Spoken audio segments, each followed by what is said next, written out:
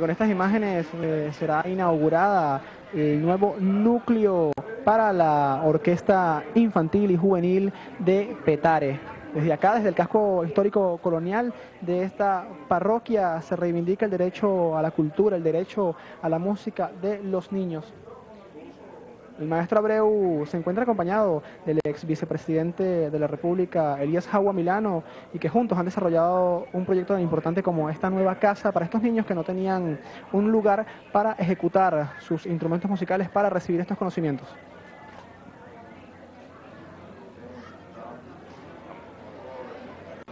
Bueno, ahora vamos a hacer... Gustavo Dudamel también se encuentra presente. A formar parte de esta inauguración. Toman la cinta. Que ahora va a ser la sede de la orquesta aquí en el campo. Reciben las bendiciones del Padre. Y de esta manera queda inaugurada esta nueva casa para que los niños puedan recibir eh, eh, toda la información cultural, también puedan recibir la enseñanza necesaria Para participar en la construcción de una nueva patria. colonial de Petare. Aquí eh, donde va a ser vida pues el núcleo de Petare del sistema de orquestas. Vamos a ver los espacios de esta casa que tiene además una estructura colonial hermosa, es patrimonio cultural.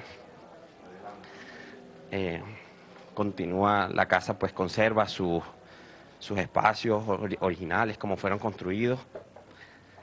Vamos en este primer salón, bueno, donde harán ensayo.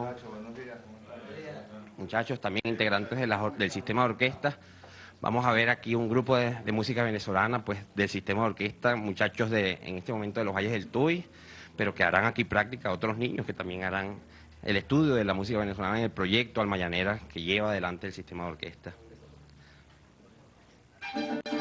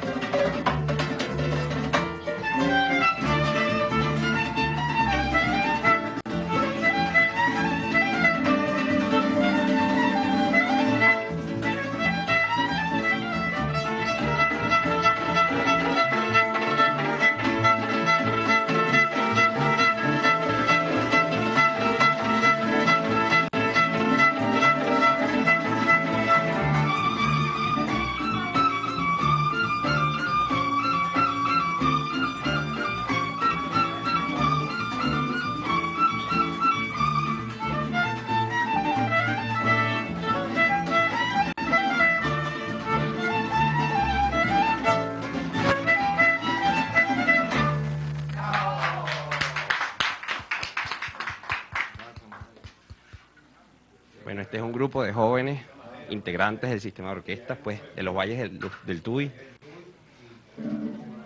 Ajá, escuchamos el segundo tema de este grupo.